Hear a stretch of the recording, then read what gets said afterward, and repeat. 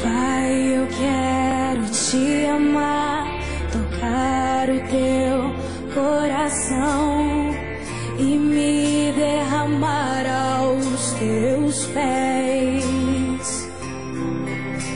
Mais perto eu quero estar, Senhor, e te adorar com tudo que eu sou e te render.